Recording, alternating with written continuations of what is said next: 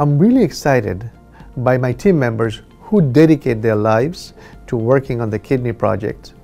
And it does not matter that they're clinicians, engineers, or scientists, or people who are outside of the science and technology fields. They're really committed to moving this forward. And I see their enthusiasm for making something real that is a concept few years ago. I think by working together and harnessing that energy, we'll be able to deliver on the promise that patients need to see.